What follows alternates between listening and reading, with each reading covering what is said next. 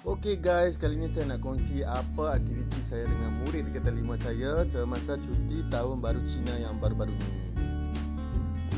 So kita buat poster untuk tajuk perubatan tradisional.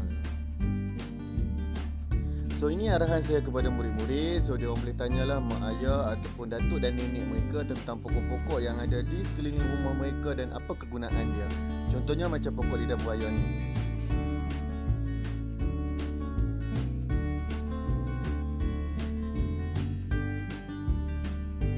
Kemudian dengan menggunakan kreativiti murid-murid, dia orang kena edit dan juga letakkan nama pokok dan juga kegunaan pokok tersebut.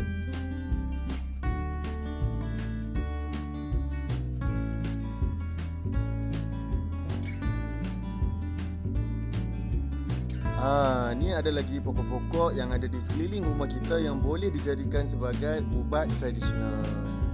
Kreatif kan budak-budak ni?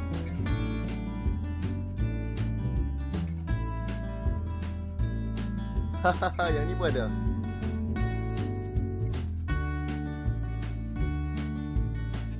Poster-poster yang cantik-cantik semua ni saya akan print dan juga saya akan lekatkan dekat makmal sebagai hasil kerja murid.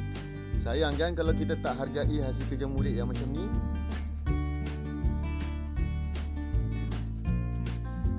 Dan Alhamdulillah WhatsApp telah menjadi bilik darjah maya kami semasa cuti sekolah ini. Terima kasih WhatsApp.